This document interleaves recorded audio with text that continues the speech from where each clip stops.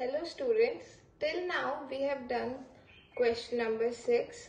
Today we will start from question number 7 to 9 given on page number 5 of your mathematics book. Now have a look on board. Question number 7 is write in expanded form. So we will solve part B. Statement is 1280.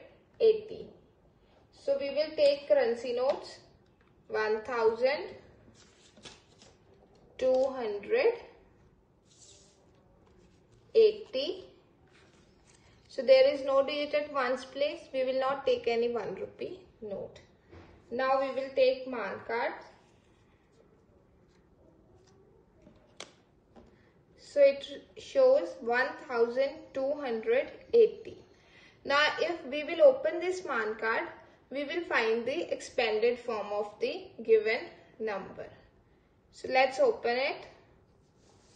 1280. So the expanded form of the number is hidden in the Maan card only. So if we combine it again, we will get the same figure.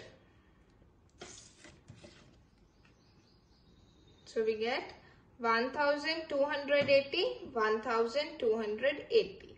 So in your answer you will write, it as 1000 plus 200 plus 80. To solve this question in your notebooks, write the question, part you are answering and the solution. Next question number 8. Form the greatest and smallest numbers by using the following numbers. So here we will solve part B. Statement is 1, comma 2, comma 3, comma 4. So first of all we will solve greatest number. So to make the greatest number, we have to find which one among these is the greatest digit. So it is 4. Then smaller than 4 is 3. Next 2. And at last 1. So the number formulated is 4321. And next to form the smallest number, we will find the smallest digit among these. So the smallest digit is 1. Then greater than 1 is 2. Next 3. And at last 4. So this number formulated is 1234. So it is clear that to form the greatest number, we will find the greatest number among these to be the first one.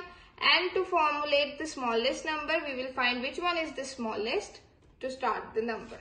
So to answer the question in your notebooks, write the question, then the part you are answering. On one side write greatest number, on the other smallest number and write the number formulate. Next question number 9. Follow the pattern and fill in the blanks. We will solve B part of this question.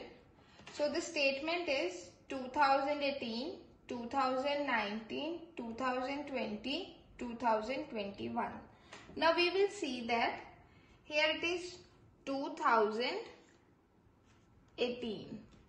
So next comes 2019 which means we have same notes of 1000 and 10 and only 1 rupee note is increasing that is by 1. So next if we add one more 1 rupee note here becomes 2020 then add one more 1 rupee note 2021. So next statement will be 2000 and if we add 1 rupee note more then 2022. Next will be 2023.